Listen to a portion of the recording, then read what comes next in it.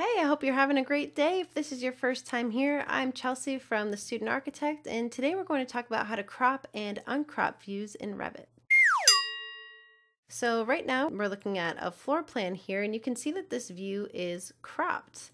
So let's say that I wanted to make modifications to another part of this building that you can't see, but I don't necessarily want to move the crop area around because I have it cropped exactly where I want it to be.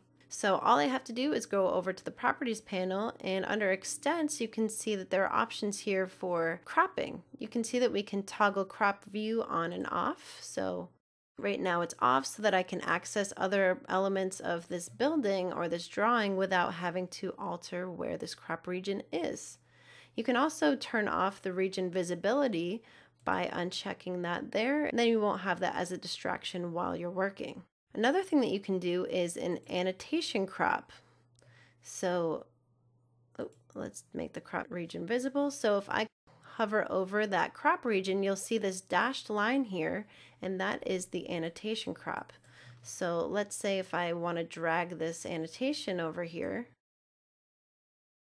outside of this crop region and then turn the crop view on, you'll see that that annotation then goes away because it's outside of that annotation crop. But you can see if I drag this crop region over, then this becomes visible while still hiding the model elements. Again, if I drag this back over, then it will disappear.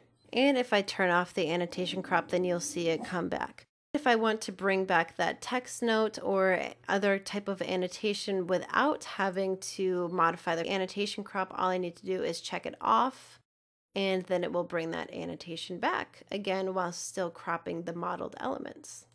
So I hope that you found this quick tip helpful. If you did, don't forget to hit that like button. And if you haven't already, don't forget to subscribe so that YouTube knows that you like content like this and they'll give you more of it.